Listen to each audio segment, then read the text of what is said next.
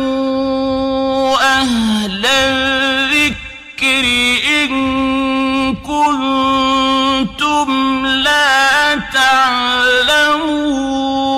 تعلمون ওয়ালাইকুম আসসালাম রহমতুল্লাহ ওবরাকাত যে আমাদের একদিন বোন জানতে চেয়েছেন যে বিশেষ করে যখন রজব মাস বা শাবান মাস আসে তখন অনেক আহ, মানুষকে দেখা যায় এ দোয়া পড়তে আল্লাহুম্মা বারিক লানা ফি রজব ওয়া শাবান ওয়া বাল্লিগনা রমাদান। তো এই দোয়াটা পড়াটা কতটুক সঠিক? আলহামদুলিল্লাহ ওয়াহদা ওয়াসালাতু ওয়াসালাম আলা রাসূলিল্লাহ মাবাদ জি, সম্মানিত বোন এই দোয়ার ব্যাপারে ওলামায় মহাকিনগণ পরিষ্কার বলেছেন যেটা সহি সূত্রে বর্ণিত হয় নাই। দ্বিতীয় কথা হলো এই,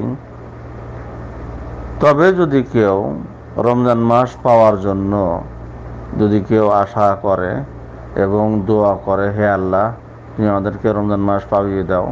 রমজান মাস নসিব করো সুস্থ অবস্থায় এবং রমজান মাস যেন আমরা ভালোভাবে সুস্থ থেকে যেন রোজা পালন করতে পারি এবং তোমাকে যেন বেশি বেশি করে স্মরণ করতে পারি, তার তৌফিক দাও।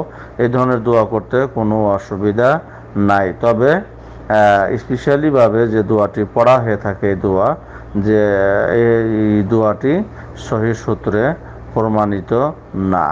তাই এই দোয়াটিকে সুন্নত মনে করে, দোয়ায় মাসুরা মনে করে পড়া যাবে না। তবে এমনি যদি সাধারণভাবে রমজান মাস পাওয়ার জন্য দোয়া করে, তাতে কোনো অসুবিধা নাই। যেহেতু আল্লামা ইবনে রাজব হাম্বালি রহমতুল্লাহ আলাই তিনার নিজ গ্রন্থে এ কথা উল্লেখ করেছেন যে ওলামায় সালাফ ছয় মাস রমজান মাস পাওয়ার জন্য দোয়া করতেন এবং যখন রমজান মাস পের হয়ে পার হয়ে যেতে যেত, তখন আবার রমজান মাসে যা করেছে তা রব্বুল আলমিন কাছে সেগুলো গ্রহণযোগ্যর কারণে দোয়া করত, কবুলের জন্য দোয়া করত।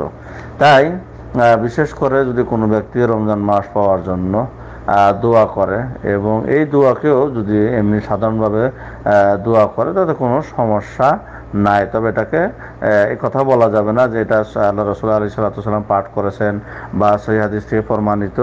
এই ধরনের মনে করে পড়া যাবে না। তবে এমনি সাধারণ দোয়া হিসাবে যদি কেউ পড়ে, যেমন রমজান মাস পাওয়ার জন্য, তো কোনো অসুবিধা নাই। ওলামা সাল্লাম রমজান মাস পাওয়ার জন্য দোয়া করেছেন।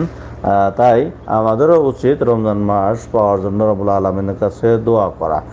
তবে ওই হাদিসটি সহি শুদ্ধ না বাকি আল্লাহ আলম বিসওয়াব সালামু আলাইকুম রহমতুল্লাহি ওবরাকাত أشرقت نفسي في نور من فؤادي حينما رددت يا رب العباد